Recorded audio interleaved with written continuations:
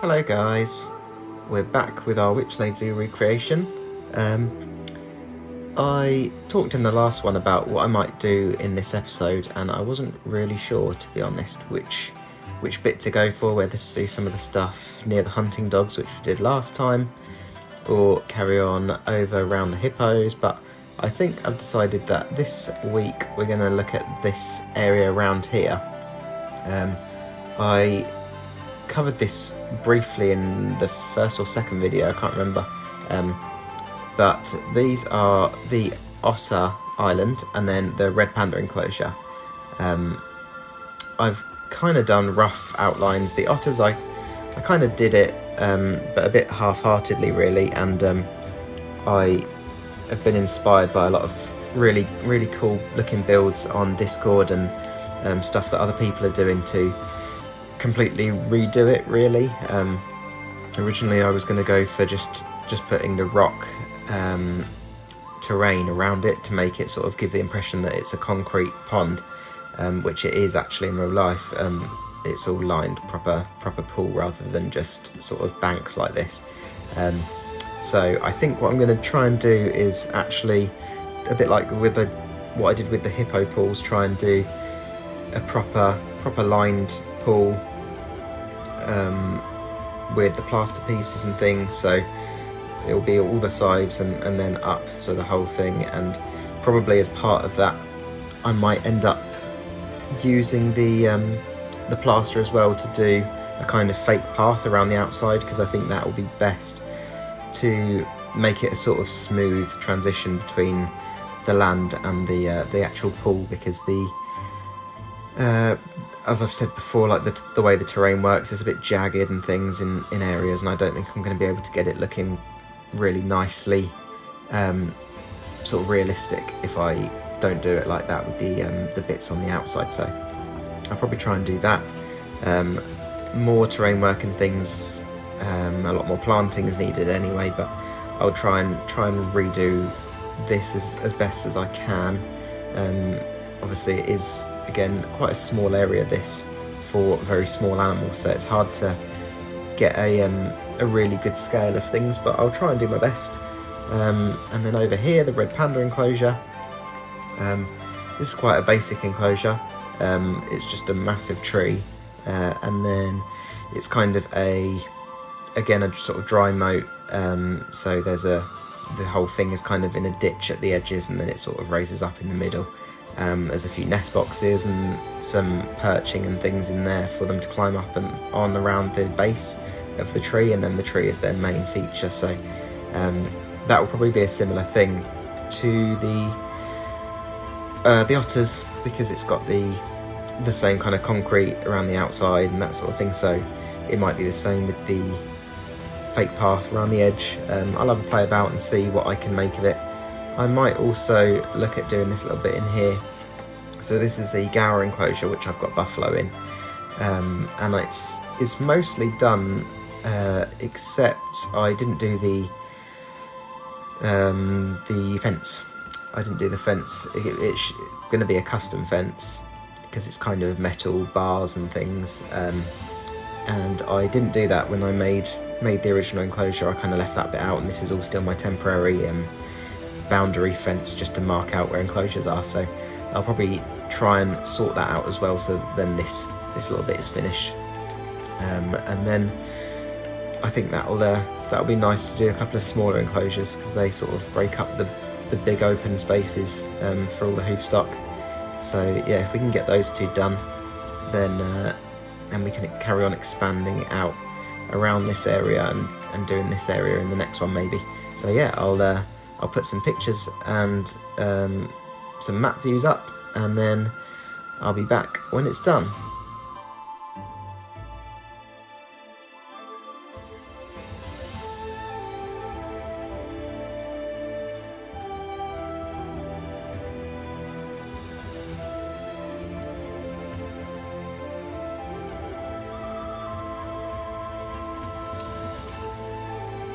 Okay guys, so we are back and all finished. Um, as I'm recording this actually, it is World Otter Day, I found out, so it's quite appropriate that we've done the otters this time.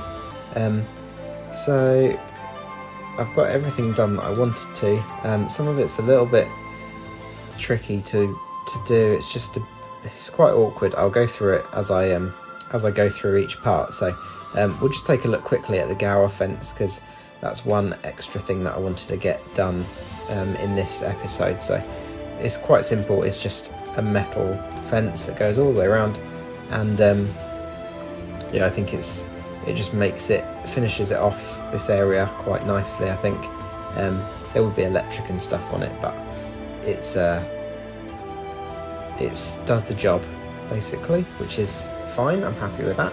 Um, so yeah, that's all the way around, and it just yeah it makes everything a bit brighter because it's not all completely solid wood and stuff. Um, and then the view from uh, from down here, you get a, uh, a much better view now. Um, now that it looks like it's uh, yeah all kind of see through and stuff. So yeah, that is um, that is the Gaur enclosure pretty much finished. Um, there might be a couple of little touches around the house that I still need to do. I can't remember. I need to take another look over there really. Um, but yeah, in general, um, all the house and stuff is done. I know I went into it in the first episode, but I'll just do a little quick quick view of it now for anyone who hasn't seen that first one. So um, yeah, this is the enclosure for the Gaur, which is a big wild cattle that we have. Um, and I've got buffalo in their place. Um, it's a quite a nice house, quite quite um, easy to manoeuvre animals around. It's got nice yards and things. Um, a bit of standoff fencing and things like that on the side with some trees, and um, yeah, there's a, um, a shelter in the paddock and then yeah just a few trees dotted about a nice big grassy area and um, tree guards one of the one of the good things for realism uh, anything with horns pretty much um, at least some of the trees would probably be protected from uh, animals rubbing constantly on them and damaging the bark and the trees themselves so just quite a nice simple in in real life they're metal but these are just those thin wood planks which look quite nice so um, yeah, just a bit of that on there. Um, but yeah, that is, uh, that is the Gaur paddock. Um, all pretty much finished. So now down to the main bits that we've done. So we'll go for the um, the red pandas first. So this is our finished red panda enclosure. So uh, I've managed to make it a proper working enclosure, which is good because I, I did want to try and get get it working since we actually do have red pandas in the game.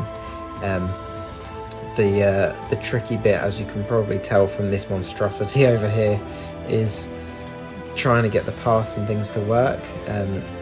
Because um, this enclosure is sort of a ditch, as I said, it's it was quite tricky trying to get get the fence to line up. I thought the easiest thing to do would be to have the fence um, sunken into the ground so because uh, I've had this fake path around, the terrain itself actually stops um, sort of halfway through the width, width of the uh, the path, and then it's all sunken down. So this this is just covering up that terrain change, and then all this stuff in here can just be a kind of retaining wall, but it's all kind of fake.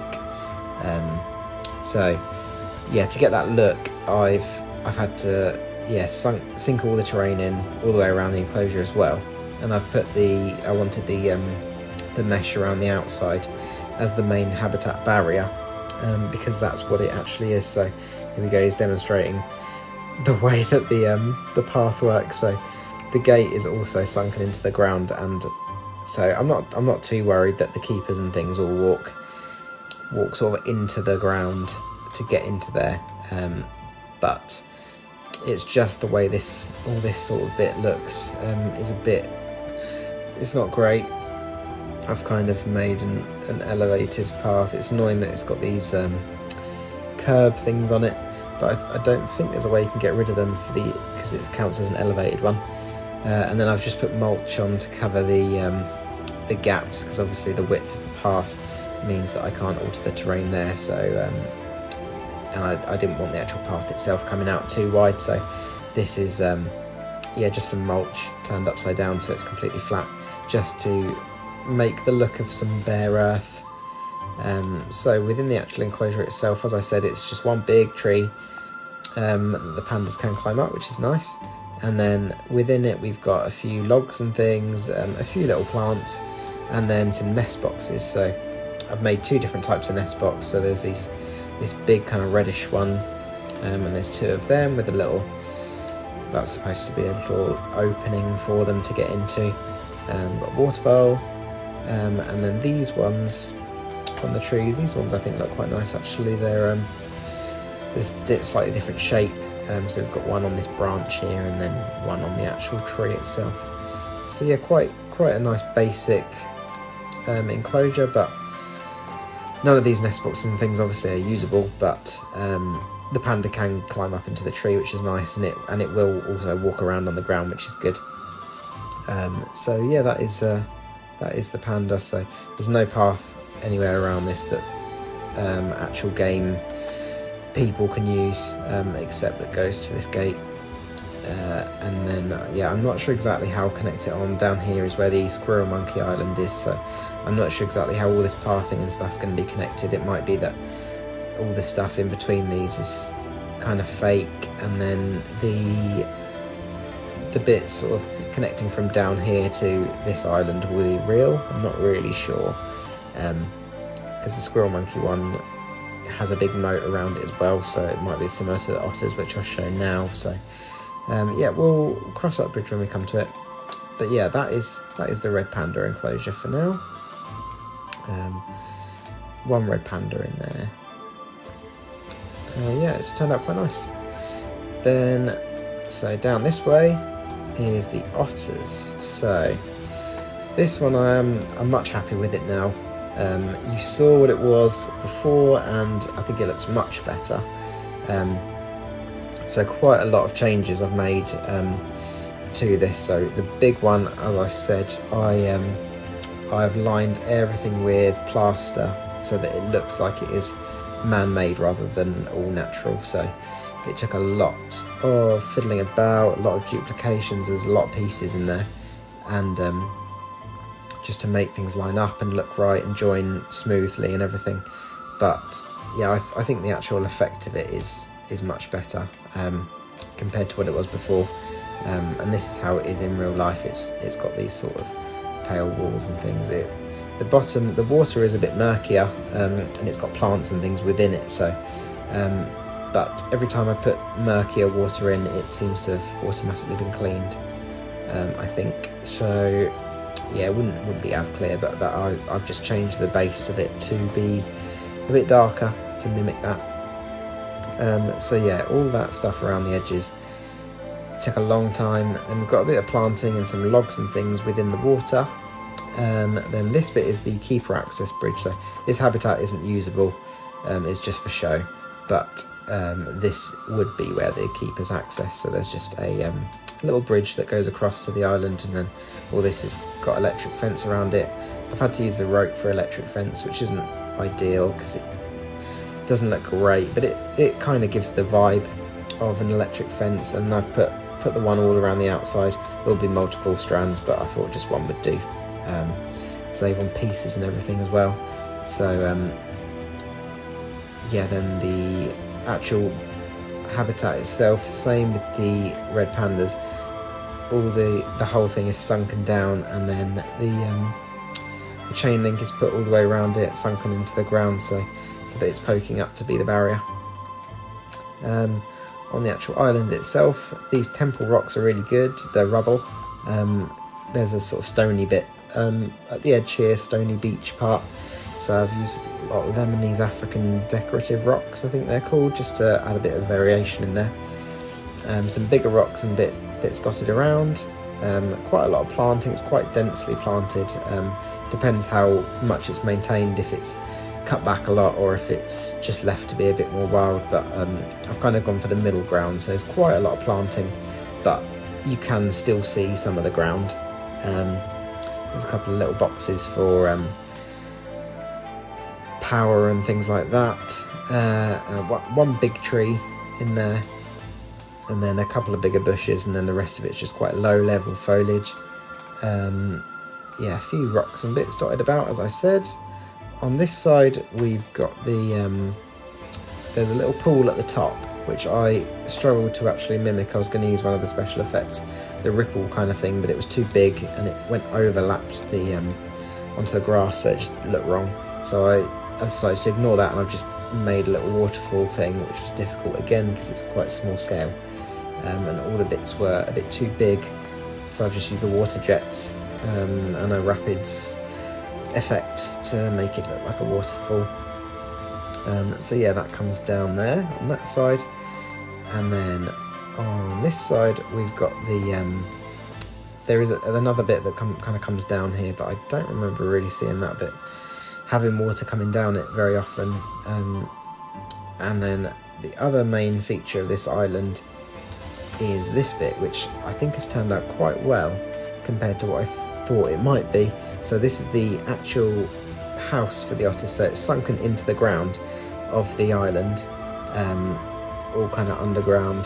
So there's just a few little steps that come down. It's not exactly accurate, but this is basically what it is.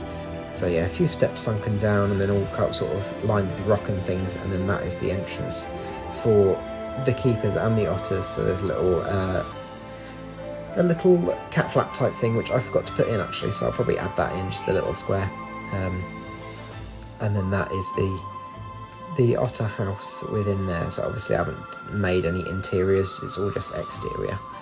Um, so um, other than that, that is that is the main the main bit really. Quite a short episode, but this took a lot of work, and to a certain extent, the Red Pandas did as well. All this um, making sure all the bits of the fake path line up, and all this pond stuff was really tricky. There's a lot of bits to line up, so um, yeah, a lot of bits, but it's turned out looking good, and uh, yeah, like I say, much happier than what it was before. Um, yeah, I think before it just looked a bit like, like I say, I'd kind of had a rough go at it, and it was, it wasn't. I didn't think it was finished anyway, but yeah, this is this is much better. It looks much better. Um, so yeah, that's this kind of bit done. There's a few little bits to do in between. Um, I'll probably do some terrain stuff. There's a couple of logs and bits, but in general, that bit there is quite bare between this lot um, and then there's a lot more stuff kind of around these sides. Um, and then behind down this way is a lot more stuff. So um, yeah that is the otters and red pandas hopefully we get otters in the game but I don't know if this would even be possible to use for them because of the way that it's all set up. Um, I doubt that it would be with the water and everything. So uh, yeah even if we do get otters possibly won't work. But I think visually it looks it looks how it should look, so that's good and I'm happy with that. So, um, that is that little bit done. So, next time, options would be to maybe carry on down here, do the Squirrel Monkey Island, um, which I think I'm going to put capuchins in their place. Um, just as I was, I was thinking of um, the red ruff lemurs, but since the capuchins came out, I thought it'd be nice to actually get some use out of the South America animals. So um, that that might be an option to do that, um, and maybe a little bit more around in this area. Um, we've got the lake there, which is a big thing to try and do. Um, and then over this way, as I said in the last one, we've got the crane um, enclosure there and a, a, bit of the public stuff and maybe this patch here so um, or we could go over there. So many many options but um, yes I'm not sure exactly where we'll go from here. If you have any thoughts let me know in the comments. Um, if there's anything in particular you think I should do next. Um, if you enjoyed the video please leave a like and subscribe if you want to keep up to date with any of the future Whipsnade Zoo creation episodes, and I will see you in the next one.